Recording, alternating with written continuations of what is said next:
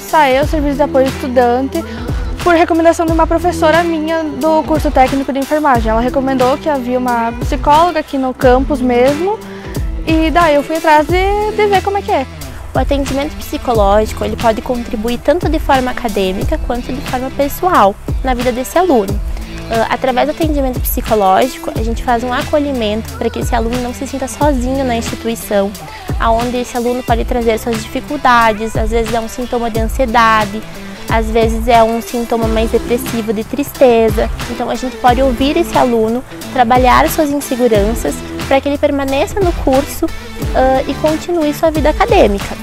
E a primeira vez que eu fui, muito, fui muito bem recebida por ela. Ela é uma pessoa muito profissional.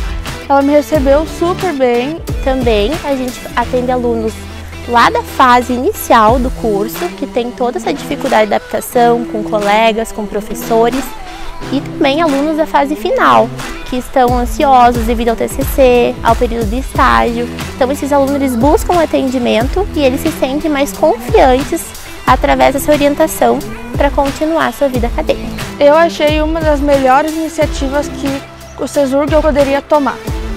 Eu acho que o serviço da, de psicologia não é só você vai lá, fala uma coisa que está te incomodando e ela resolve. Ela te dá todo aquele apoio que talvez em casa você não teria, talvez sozinho você não ia conseguir, que o CESURG está proporcionando uma, uma grande mudança na, na parte psicológica, na parte da saúde mesmo dos jovens. É muito importante essa iniciativa do CESURG, porque às vezes esse aluno não tem nenhum apoio da família ou tem algum problema externo. Então, quando ele chega uh, na instituição, é algo novo, ele não conhece praticamente ninguém.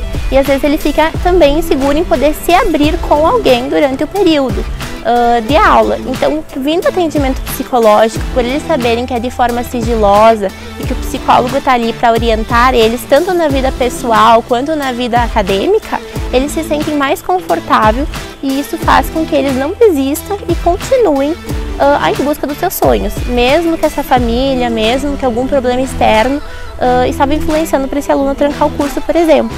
O aluno permanece porque ele tem esse acolhimento da instituição.